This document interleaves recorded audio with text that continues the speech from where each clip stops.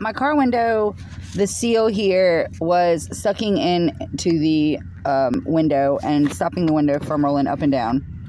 As you can see, it rolls up and rolls down now. See how it's sucking in here still?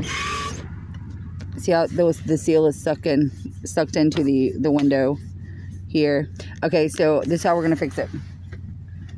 Um, a buddy of mine told me that he used um, soapy dish soap, and so I was cleaning the windshield today and sprayed some Windex into the seal. I guess um, I live near the beach, so a lot of salt residue has been gotten to the the seal cavity or whatever you call it.